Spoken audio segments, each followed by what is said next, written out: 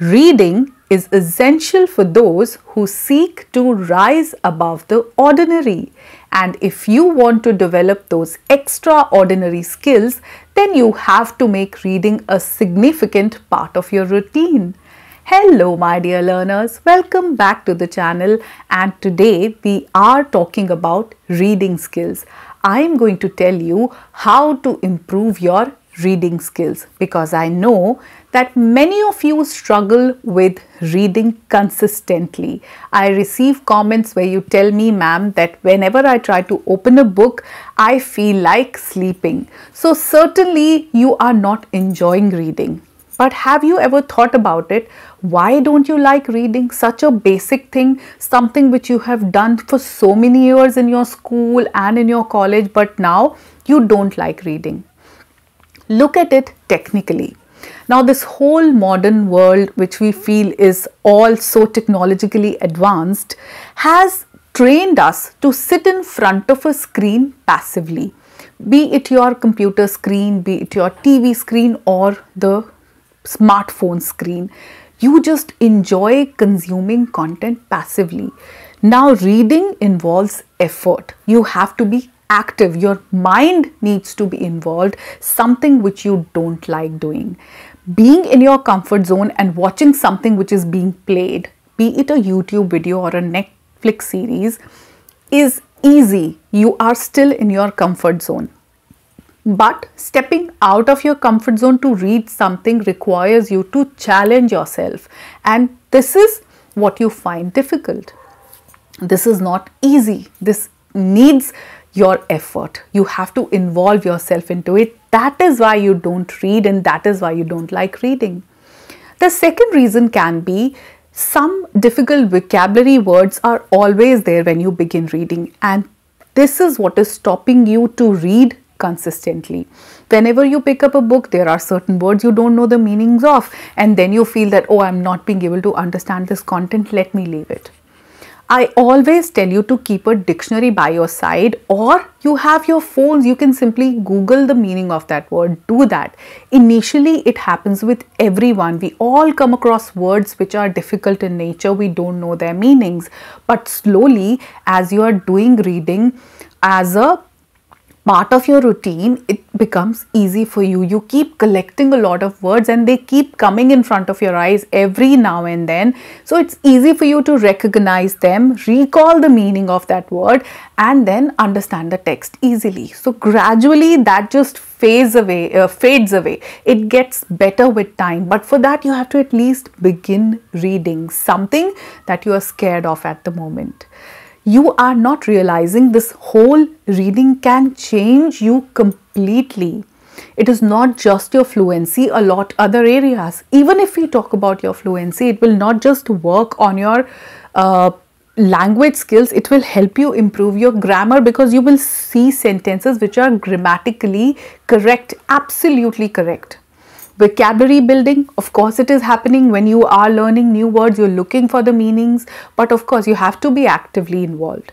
You will learn a lot of vocabulary, you will understand grammar. If you're reading fiction, you will understand conversations as well because the dialogues are written as it is. She said this to him, he said this. The as it is sentences, you can copy them in your real life conversations. That's it. That's a great thing. It even helps you with your pronunciation. But how? When you read a word which is right there in front of you, you should try to break it. If it's a longer word, a word which we don't use in our everyday conversation, try to break that longer word into smaller pieces and that can happen only when you have that word right in front of your eyes while reading. Otherwise, when you listen to someone, it sounds easy. Something like sophisticated, it's a long word. When you read it, break it. So, sophisticated. Now, PH is fur, PH forms fur. When you read that word, your pronunciation naturally improves, but for that, you have to break that word. Now, there are words like rural. You know it's rural, but many of you still pronounce it as ruler. But while reading, when you see that R U R A L is different and R U L A R is different, it has to come in front of your eyes to for you to correct it in your speech. So it is not rule, uh, ruler, it's rural. R A L. So you have to go through reading to improve your pronunciation also. It definitely helps in your pronunciation. A word like exaggeration, it has two G's, double G, GG. One is used as G and other is J. Exaggeration, exaggeration, break it, exaggeration. So the words like apprehensive, apprehensive, double P, apprehensive, break it do it like that and see the difference in your pronunciation. You would not even uh, would want to listen to other people's pronunciation. You will be able to pronounce it correctly. There are very few tricky words where you need to look for check for the pronunciation. Otherwise if you try to break it it is going to be easy. But for all of this you have to be an active reader.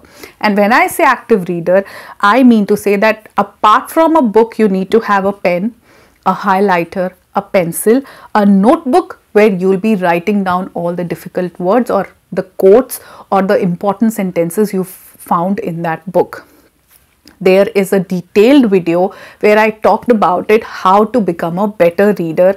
I will link uh, that video over here. You can go watch it. This video talks about the detail of how you can use all these things to make your reading better.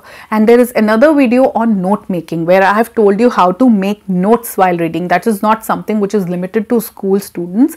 Anyone who's trying to read and make it a part of their life can read it. So I'll link that video also on note making. Watch it after this. So you'll be able to become an active reader, make notes and make that learning last forever.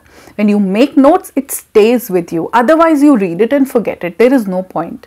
So be an active reader if you truly want to improve your reading skills. Apart from that, be ready to challenge yourself. You know what? Whenever you challenge yourself, you grow.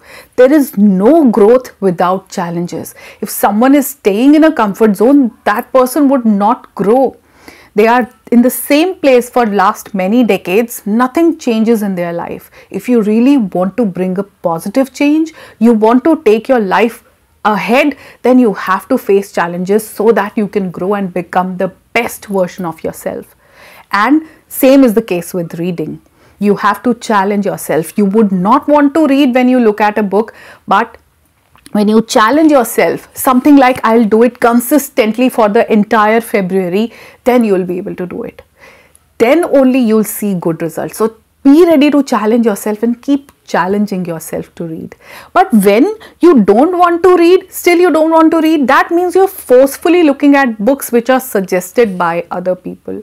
Read whatever you get your hands on, whatever you like to read, from the children's storybook books to the fiction, the novels to non-fiction like self-help books and other mental attitude books. Read anything that you like. First of all, decide what do you like. You like love stories. Go ahead and pick a beautiful love story for yourself. You still like those magicians and jinns and all fairy tales. Go ahead and pick up a children's storybook. There is nothing wrong in reading stories. I think stories stay with us forever. They last longer. They leave a very positive impression. Don't shy away from picking up children's book. The idea is to read more of English content and come across a lot of sentences and learn good vocabulary. That can be done th through any book. There is no specific book assigned for it. Your interest will keep you consistent. So it matters what you're reading.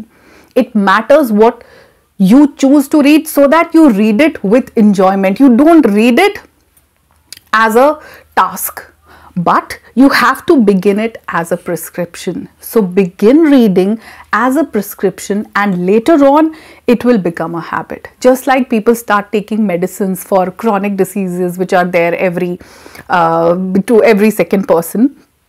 So they begin it the prescription which is uh, given by doctor and then they are so habitual. They know that before every meal they have to pop in a pill. Uh, before sleeping they have to pop in a pill. Getting up in the morning first thing they have to just swallow down a pill. It becomes a habit. So begin reading as a prescription. Challenge yourself that you will do it for two weeks three weeks or a month and then you see it will be a part of your life. It will become a habit without even you realizing. You would not be able to uh, go to bed without reading a few pages or finishing a chapter of your book or maybe a story depends on what you choose to read. So this is something which is very important. And overall if you really want to develop good reading skills start to collect information from different areas. What are you interested in? What are the different areas where you want to learn more about it? Some people are very much interested in astrology the whole space and the planets and everything. Are you someone take books from that area pick up the books from uh, that zone where they talk about stars and other planets and everything. Are you interested in traveling? Pick up the books where they talk about places. Ruskin Bond has written some very nice books about traveling, Mussoorie, the roads, something like which which you really like to collect more information from. And something which you can associate more with your life. You get inspired by other people, but what is that one thing which inspires you? So pick books which can connect you with your life in a better way, where you can collect more information, something which challenges your beliefs and which helps you change your mindset. Books do that to you. It will question your mindset every time you read something. There would be something which you do not uh, agree with, but later on, when you look at the whole way it is expressed, you start understanding and you develop a growth mindset because your whole belief system will be challenged. Read books to challenge yourself and to have a growth mindset. That is what books are going to do to you. This will make you a mag magical person. Your life will be a magic. You will have a better mindset, a very strong mindset, and your knowledge it will move to another level. You'll be a creative person, you'll sleep better, and you will not talk about stress, anxiety, and depression ever if books are a part of your life. So, to develop good reading skills, choose the books only from your interest area. Don't shy away from picking up children's books, Champak, Chanda Mama, comics or storybooks. Don't shy away from it. And if you feel you need to read more of psychology books, self-help books, pick it up from there. Make notes. Have a detailed reading where you're making notes for, for uh, about everything that you're learning. The vocabulary the quotes the sentences whatever you're learning. Don't read without a pen highlighter and a pencil by your side. Always be an active uh, reader. Don't just consume content endlessly in a passive manner like you are doing put in some effort don't shy away from challenging yourself challenge yourself and complete it in this year only and see the difference in yourself. I will end this video on this very positive note and I wish you luck to just pick up reading now and make it a part of your life in very, very soon, in a very less time. Alright, so take care of yourself, keep reading wonderful books and keep enhancing your knowledge and I'll see you in my next video. Till then, take care of yourself. Bye-bye for now.